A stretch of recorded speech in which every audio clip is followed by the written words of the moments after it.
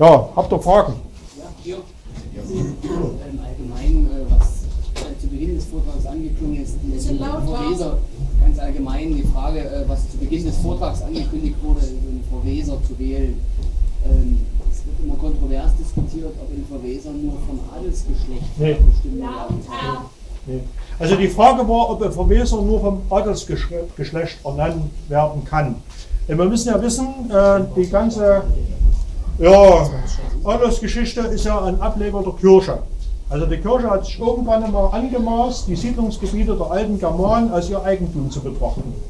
Und die haben Lehen vergeben. Also die haben im Prinzip, ja, das noch weiter ausholen. Im Jahre 9 gab es die Schlacht im Teutoburger Wald. Da haben die Germanen den Römern eine ordentlich auf den Helm gegeben und haben das römische Reich zerschlagen. Und die sind mit einer unbedeutenden Truppen wieder nach Rom zurückgekehrt und damit war das Siedlungsgebiet der Germanen von dem römischen Sklavenhalterrecht frei. Das ist das, was wir heute als kanonisches Recht im ersten Semester Jurastudium haben, wo den Leuten und den Rechtsanwälten erklärt wurde, dass wir immer noch im römischen Recht stehen. Das gar nicht stimmt.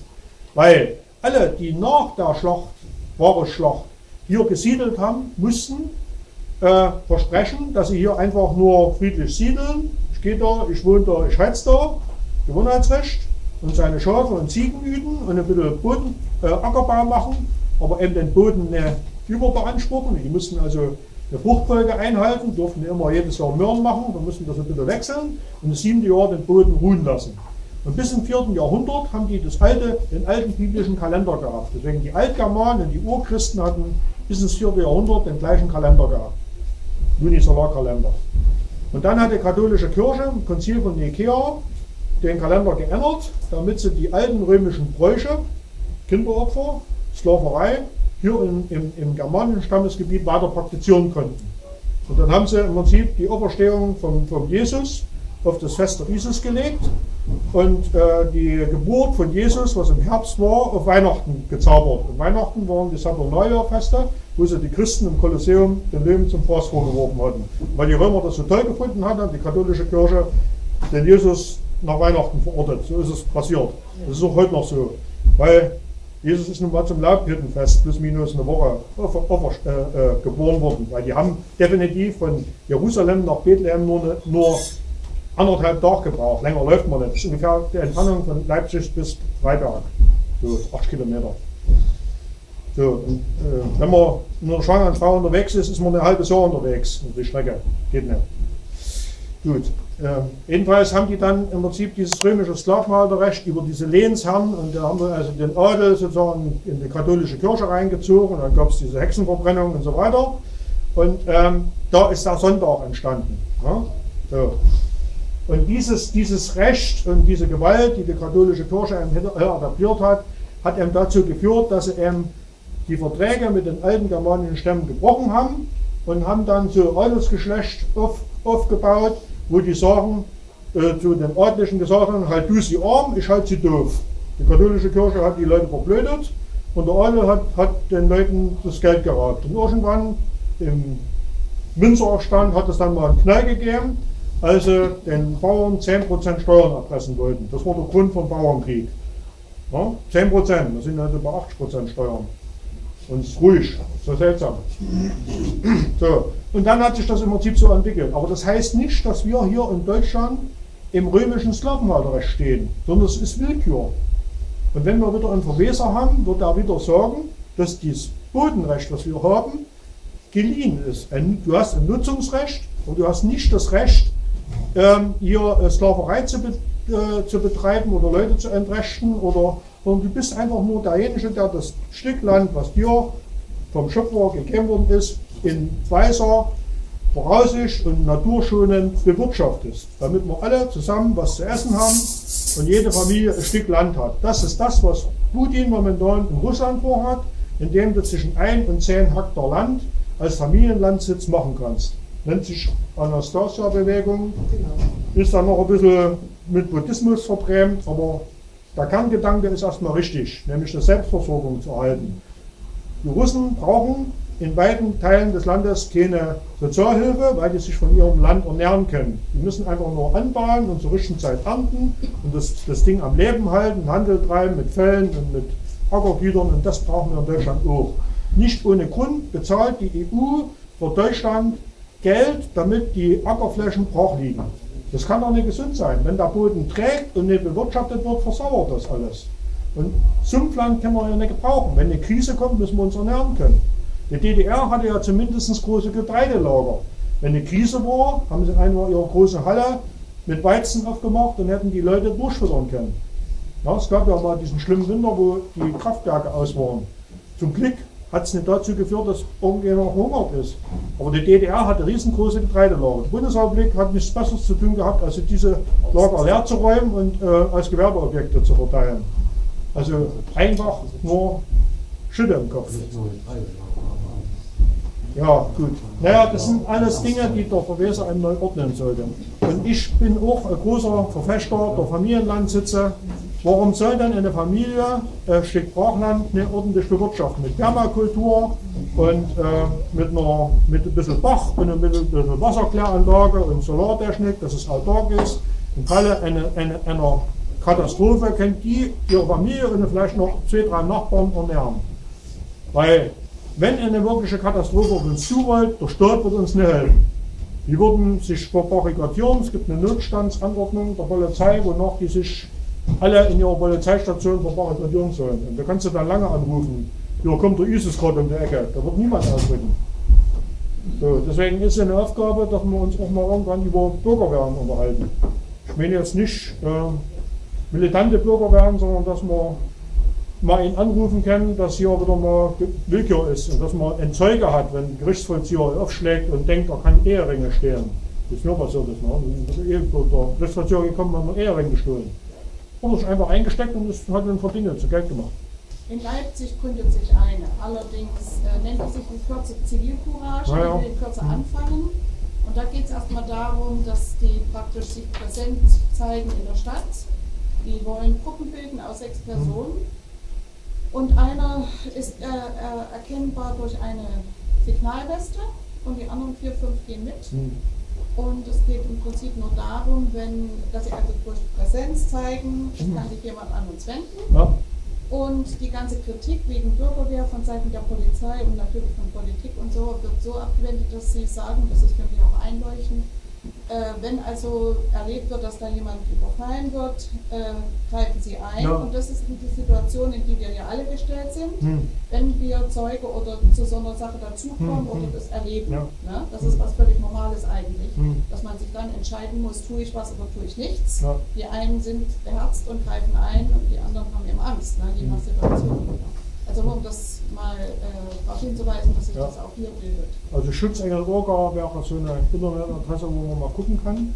Interessant ist auch, dass die Invasoren oder nennen wir so Flüchtlinge äh, blaue Pässe kriegen. Ne? Wir würden gerne mal einen blauen Pass kriegen, weil ja blaue Pässe stehen ja nach internationalen Abkommen für souveräne Staaten. Da frage ich mich, warum kriegen die keinen roten EU-Pass oder keinen grünen? Die kriegen einen blauen. Jetzt haben wir beantragt, bei deinem Einwohnermeldeamt einen blauen Pass zu kriegen, mit einem richtigen Vogel vorne drauf. Nicht, ob du das kriegst. Interessant, ne? Und wenn irgendwas ist, äh, ist es so, dass die vom Innenministerium angewiesen worden ist, die Straftaten der sogenannten Invasoren nicht zu verfolgen und auch nicht in die Statistik aufzunehmen. Und die Polizeier sagen, dass die also dreimal so viele Straftaten begehen wie jeder andere. Also das ist schon, und da denke ich mal, dass die Zahl auch noch nach unten gerechnet wurde. Kann ich mal kurz noch ergänzen? Äh, der AfD-Wohlitzer hat eine Anfrage gemacht beim ja. Landtag in Sachsen. Es sind alleine Straftaten von Flüchtlingen in Heimen. 25 DIN A4 Seiten, jede Zeile eine Straftat ja. im Jahr 2015. Hm. Und dann kommen noch andere dazu. Also hm. nur das, hm. ja, das ja, weil es ja nicht so berichtet wird. Darf ich noch was sagen? Selbst auf der Seite des BKA, bka.de, ja. dort sind die Statistiken noch aufgeführt. Ja. Da ist es so, dass es hm. dreifach ist. Hm. Ja, ich meine, wenn ich jetzt, äh, sagen wir mal, als Deutscher in ein anderes Land flüchten würde, würde meinetwegen in die Schweiz flüchten, würde dort äh, Asyl beantragen. Ich wüsste, wüsste nicht, wie ich auf die Idee käme, mich so zu verhalten. Also Kölner, Kölner Hauptbahnhof oder wo es Übergriffe gegeben hat, also es ist irgendwie nicht verständlich. Na gut, sind also Randerscheinungen. Ich äh, wollte noch eine wichtige Sache loswerden. Also bitte, wenn irgendwelche Leute, ja, ich habe es gesehen, wenn Leute kommen, ja, äh, bitte denkt drüber nach, äh, dass ihr euch nicht eure ganze Energie in Dinge reinsetzt, die ihr Verweser mit einem einfachen Schriftstück beenden könnte. Also zum Beispiel sogenannte Ordnungsverfügung oder äh, Chemtrail beenden oder ähm, Permakulturen oder was weiß ich. Der Verweser kann das über Nacht entscheiden. Das sind also nicht die Dinge, um die wir uns kümmern müssen. Wir müssen uns darum kümmern, dass wir einen Verweser haben. Wenn wir das in einer Nacht entscheiden können, brauchen wir ein halbes Leben uns da aufopfern, damit die Sache wird. Sondern wir müssen uns einen Mann raussuchen, der das wirklich umsetzen würde und der macht eine Verfügung und dann passiert das einfach. Das ist noch eine ganz wichtige Sache. Immer noch die Frage hin. Ja, äh, was, äh, was mich jetzt äh, interessiert ist, äh, du hast vor uns gesagt, äh, mit dem Bodenrecht. Ja. Und äh, das, das würde 2017 dann ja. verfallen. Ja. Äh, die verkaufen doch aber jetzt schon massiv an Ausländer im Agro-Grundstücke. Ja, das, Kann das, das, das geht ja nicht. rückgängig gemacht werden, ja. weil es ja nicht rechtsgültig ist? Ja. Hm. Also die können dann einfach weg. Also man muss, immer, man muss wieder unterscheiden. Eigentum und äh, Besitz. Im Grundbuch oder Besitz eingetragen. Besitz ist derjenige, der die physische Gewalt hat. Und der Eigentümer ist der, der die rechtliche Gewalt hat. Ein Eigentümer einen Besitzer zu bestimmen zum Beispiel. Also der Eigentümer hat die absolute, äh, das absolute Sagen über das Grundstück und der Besitzer ist derjenige, der momentan einen Schlüssel hat und das jetzt äh, als seins ansieht. Ja. Nee, und der Besitzer ist der, der am Grundbuch geführt wird und der Eigentümer ist der, der am Kataster geführt wird. Und wenn das Kataster nicht fortgeschrieben werden kann und das System fällt auf den Rücken, gilt das, was im Kataster steht. Also sind, und das Kataster ist in Krakau und da hat seit 1945 keiner reingeguckt. Also sind und das alles bloß Besitzer. Das sind Besitzer, die, die, die verkaufen ein Nutzungsrecht. Die verkaufen ein Nutzungsrecht. Und die dort Häuser dort gebaut haben, zum Beispiel auf Bodenreformland, da wissen wir ja, Doktorarbeit Konstanze Paffrath ist mit Summa Cum Laude bewertet worden. Die hat nachgewiesen, dass die Bodenreform von 1945 bis 1949 illegal war. Das heißt, wer auf Bodenreformland sein Haus gebaut hat, der hätte es auch ins Überschwemmungsgebiet bauen können, weil das fängt an zu schwimmen, wenn der Verwässerwald kommt. Und da muss natürlich eine sinnvolle Regelung gefunden werden. Und wir haben uns ja in der Friedensbewegung da auch Gedanken gemacht, wie kann man denn so einen Fall handeln? Und wir sind zu dem Resultat gekommen, nicht derjenige, der das Bodenreformland erworben hat, hat es im guten Glauben erworben und er hat seinen guten Glauben seinen Bausparvertrag abgeschlossen, hat ihn auch teilweise abgezahlt, freut sich, dass er jetzt ein Haus hat aber der Besitzer hat natürlich ein Anrecht. Also was wird man machen? Man wird also um sein Haus irgendeinen Bereich lassen, was noch zu seinem Grundstück gehört, wo er seine Schafe weiten kann, aber ringsherum wird dann dem ursprünglichen Eigentümer zurückgegeben werden müssen und dann wird er ein Stück äh, Land von jemand anders noch dazu kriegen, so, sodass er auch seine ursprüngliche Landesgröße hat man wird sich mit dem Vergleich einigen müssen. Anders wird es nicht gehen. Man kann da jetzt nicht die ganzen Sachen, die von 1945 bis jetzt passiert sind, von null nichtig erklären. Ja, wenn eine alter VEB. Das betrifft jetzt ja alle. Na klar. Ja, aber wenn es überhaupt nicht verlängert wird, dann äh, verfallen, verfallen nur die 99 Jahre. Dann wird das Kataster einfach abgefackelt, fertig. Und das muss man verhindern. Aber es gibt doch, es gibt doch die Aussage, dass. Äh, privat, also zu Lasten Dritter die Verträge unwirksam sind. Und das ist ja das alles. Ja, der Staat, der Staat ist derjenige, der das Kataster fortschreiben kann. Und der Staat ist der Verweser. Reden, wenn wir von der Firma reden. Ja, ja. Nee, nee, hier geht. Kann ich jetzt ja, ja. als Besitzer, kann ich jetzt das Kataster angehen, bei den Auszug, also Katasterbuch im Original Nee, die lassen keinen rein. Also, das ist in Krakau. Das, Ding ist, ist zu. Das, das bleibt zu. Das ist mein Eigentum. Das ist davor. Weil der Russe sagt sich, wenn die wissen, wer der Eigentümer ist, gibt es bloß Hauen und Stechen. Die lassen keinen rein. Ja, kann ich gar nichts machen. Du bist, du bist der Besitzer und du musst dich dann mit dem Eigentümer äh, einigen über dein Grundstück. Und ich, ich, wir haben uns der Friedensbewegung einfach nur Gedanken gemacht, angenommen, wir würden jetzt äh, von einer Woche auf der andere einen Verweser wählen müssen. Was wäre eine gute Handlungsempfehlung? Mehr, mehr können wir doch nicht machen. Und wir sind der Meinung, dass es dass es sinnvoll wäre, dass das einem Vergleich kommt, dass um sein Haus, sagen wir mal, sagen wir 500 Quadratmeter ums Haus rum, eben noch zu dem gehört, der das Besitzrecht erworben hat im guten Glauben und alles andere fällt weg, weil das kriegt der ursprüngliche Eigentümer zurück. So, und wenn der sagt, du kannst das noch die 500 Quadratmeter noch dazu kriegen, kostet so und so viel, dann wird das dann von dem Verweser in das neue Kataster eingetragen, dass die Sache erledigt. Und so wird dann Stück für Stück die Sache aufgedröselt. Mein Vorschlag. Mir ging es jetzt bei meiner Frage nicht darum, was jetzt hier die Einzelnen und so weiter. Nee, nur das, was jetzt geschieht. Die Ausländer kommen nee. und kaufen und kaufen und kaufen. Ja, die, das ist rechtswidrig, das wird einfach ja, das ist Fehlerware. Das ist Fehlerware, ja, na klar. No? Das Kataster führt der Staat. Und da wir jetzt nur äh, eine, eine, eine notstandsrechtliche Verwaltung haben, was nie entlastet werden kann, weil die Gesetze über die Auflassung nicht erfüllt sind. Der Kaiser hat das Verfügungsrecht über die Auflassung, also über die Zuweisung von Grundstücken an die Besitzer. So, das heißt, wenn wir kein Verweser wählen bis Ende nächsten Jahres, äh, ist es Treibgut auf See. Deswegen wollen sie ja das Handelsrecht etablieren. Deswegen schicken sie so viele äh, Leute los, die die Leute so in das Handelsrecht schicken. Macht mal auf dem Gericht bitte Handelsrecht. Das ist wie ein Einüben. Ein Einüben in ein falsches Rechtssystem. Das Handelsrecht können wir nicht gebrauchen.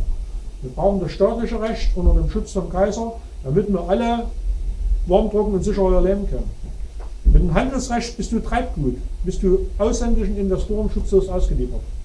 Wenn wir das hier einüben, indem wir selber vor den bundesdeutschen Richtern praktizieren, denke ich mal, meine mein Bauchgefühl keine gute Entwicklung.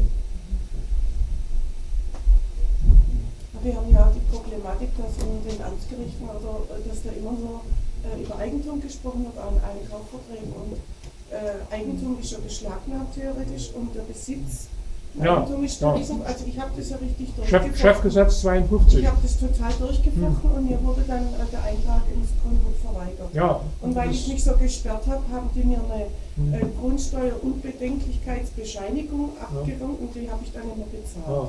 Das Problem also, ist. Es gibt überall Willkür, das ist schon das. Also nee, nee, nee, das ist, so sehr viel Willkür ist es nicht.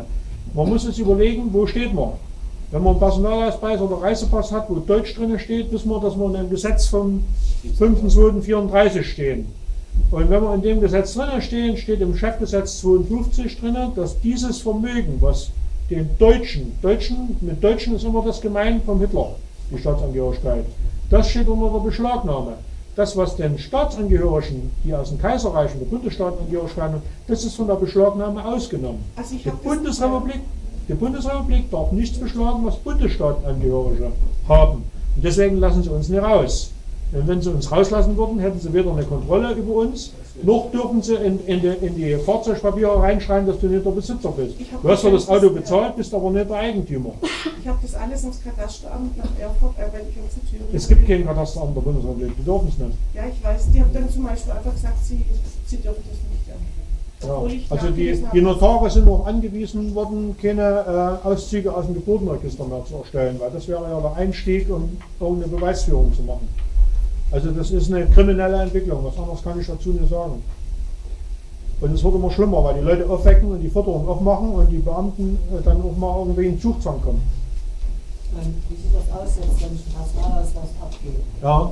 So, ähm, da gibt es ja eine Vollauskunft äh, nach Bundesstaat. Ja, äh, Bundesdatenschutzgesetz. Genau. Äh, wo beantrage ich das? Mit dem? Hm. Ist das mit dem? Ja, ja. Also ESTA, ist eine Geschichte, die von amerikanischen Besatzern eingeführt worden ist. Es ist keine Erfindung, ähm, die mit dem Kaiser zu tun hat oder mit dem Staat zu tun hat, sondern die nur dazu dient, festzustellen, wer ist Nazi, wer ist nicht Nazi. So, Bundes für Bundesstaatenangehörige gilt nach wie vor die Ableitung nach Bustag. So, und jetzt, ähm, deine Frage war jetzt, Moment, wie war das jetzt? Äh, äh, Vollauskunft. Genau. Die Vollauskunft ist jetzt im Prinzip das, was, was hinter deinem Datensatz hinterlegt ist. Und da wirst du feststellen, dass, bei, dass du, wenn du ein Perso abgegeben hast, das Deutsch klein geschrieben wird. Ja. Asch wird groß geschrieben, Großbuchstaben, das ist die Handelsorganisation Deutsch. Das Kleinbuchstaben ist der Verweis auf das Hitlersche Gesetz. Du bist nicht in der Firma, sondern bist im Hitler gelandet. Und du kommst erst raus, wenn du mit der A11 kündigst und der Mitarbeiter der Meldebehörde seine Arbeit macht. Wenn der die nicht macht, hast du die gleiche Situation wie beim Bankraub, dass du dem Bankräuber Forderung aufmachst. Der hat aber immer noch ein volles Magazin. Deswegen kommst du an der Stelle nicht weiter. Und deswegen wollen wir ja eine Klagegemeinschaft machen. Wir haben also noch so ein Bauvorhaben neben dem Kaiserradio laufen, wo wir die die Entlassung in die Bundesstaatenangehörigkeit vor dem internationalen Gericht durchklagen wollen. Und zwar außerhalb der Bundesrepublik, innerhalb der EU funktioniert. Weil äh, Gericht in, in, im europäischen Mitgliedstaat wird sich nicht dazu hinreißen lassen, gegen das kaiserliche Gesetz zu verstoßen. Ja? Das ist die Sache. Das probieren wir jetzt, probieren einige von uns gerade das, den Weg zu gehen und mal gucken, ob es funktioniert. Ähm, also, also wie ist das jetzt, wenn ich das jetzt gemacht habe? Äh, die Bescheinigung nach den 20 Strafen ja. kriegt man gerade noch nicht. Also die, die Bundesrepublik darf erstmal nicht lügen. Und die wird dir das, was sie für dich hinterlegt haben, auch auf den Schein schreiben. Aber es wird dir nicht nützen, weil sie dich einfach nicht rauslassen. Aha. Es müsste im Prinzip, wenn, wenn, wenn dein Melderegistereintrag korrekt wäre und du wirklich äh, korrektes Melderegister hatte, müsste im Prinzip bei dir der Bundesstaat stehen. Weil wenn die HLKO gilt, geht die, geht die HLKO vor und in der HLKO gibt es keine Freistaaten. Ja. Na, weil der Rechtsstand vom 27.10.1918 einzuhalten ist verpflichten, vor allem in Mitteldeutschland verpflichten. Weil wir haben diese Neuordnung des Reiches nicht. Genau, und das verweigern sie gerade. Das verweigern sie gerade und zwar mit der Begründung, dass sie eine Untergliederung des Bundes sind und der Bund äh, seinen Sitz in Bonn hat. Und in Bonn gilt das Chefgesetz. So. Aber die dürfen natürlich nicht in der fremden Besatzungszone gegen die HLKO verstoßen. Denn wir in Mitteldeutschland haben vordringlich erstmal die, die Rechte aus der HLKO und die kommen aus dem kaiserlichen Recht. Und in der Bundesrepublik haben sie leider die Gesetzgebung der Weimarer Republik und deswegen hängen die über Chefgesetz 52 noch in der Weimarer Republik. Äh, wie ist das jetzt, wenn jetzt jemand Schulden beim Finanzamt hat? Hm? Äh, wie kriegt man das hin, dass die erlöschen? Das Problem ist genau das gleiche wie beim, wie beim Meldeamt. Das Finanzamt ist die Parteikasse des Bundes. Der Bund ist ein privatrechtliches Konstrukt. Also die Gewinner der Wahlen bilden den Bund der Bund hat eine Parteikasse, das ist das Finanzamt. Und solange wie du aus dem Bund nicht rauskommst, also deinen Personalstatus nicht auf inaktiv setzen, beziehungsweise dir die Bundesstaatenangehörigkeit nicht zurückgeben, ist es das Gleiche, als wenn du im Garten, im, im Kleingartenverein deine Beiträge nicht entrichtet hast. Du hängst im Prinzip in der Ordnung des Vereins drin. Ja? Erst dann, wenn du Bundesstaatenangehöriger bist, dann bist du raus. Also man kann sich das ungefähr so vorstellen, du hast eine Kleingartenanlage und da gilt eine Gartenordnung. Da muss es schon halten. Das sind die Beiträge zu bezahlen, das ist eine Hecke zu schneiden. Wenn du Bundesstaatenangehöriger bist, bist du nur einer, der da durchläuft. Und dir kann dann nicht verlangt werden, dass du äh, in der Kleingartenanlage die Hecke schneidest, bloß weil du da durchläufst. Nur der, der da im Garten, Kleingartenverein drin ist, der muss die Hecke schneiden. Logisch. Ja? Äh, Uwe, warte. Äh, wie ist das, äh, wenn, wenn das jetzt alles durchgegangen ist? Ja? Äh, man hat ja dann so gewisse Verträge wie die Krankenkasse oder. oder ja, es sind Firmen. Die Krankenkasse ist eine Firma. Ja. Das Geld gilt alles weiter. Also der Kaiser, vom Kaiser stammt die Sozialgesetzgebung und die ist aber vom Bundestag verfremdet worden, zu deinem Nachteil.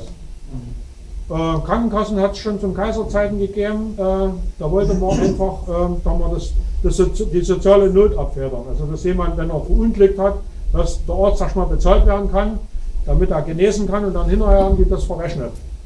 Und das ist so sinnvoll. Aber das, was jetzt momentan mit Krankenkasse passiert, das, das ist nicht normal. Das ist kein normaler Zustand.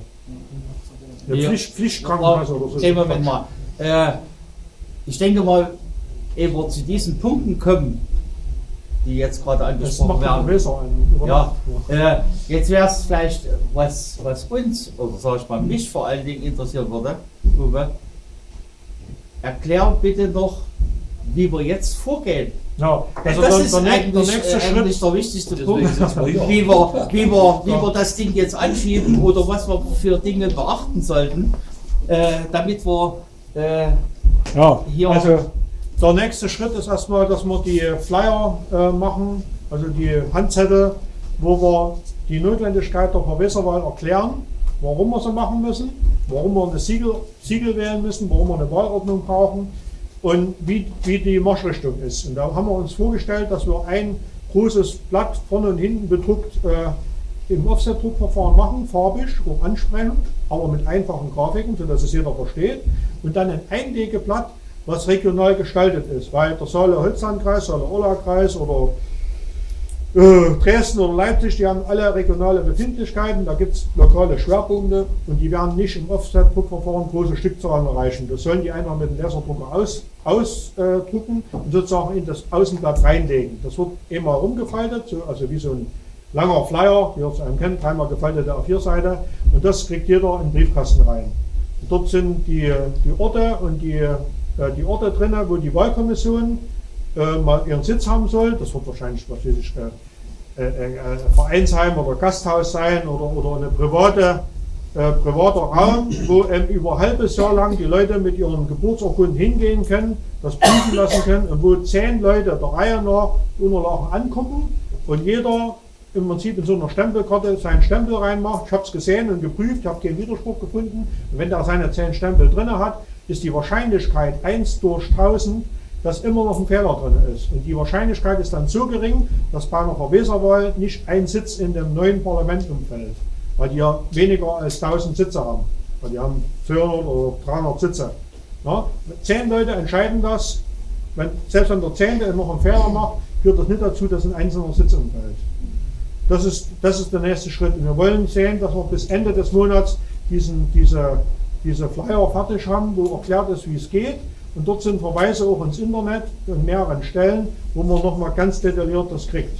Müssen wir aber alles erst machen. Und das sind auch wenige, die das jetzt momentan vorbereiten.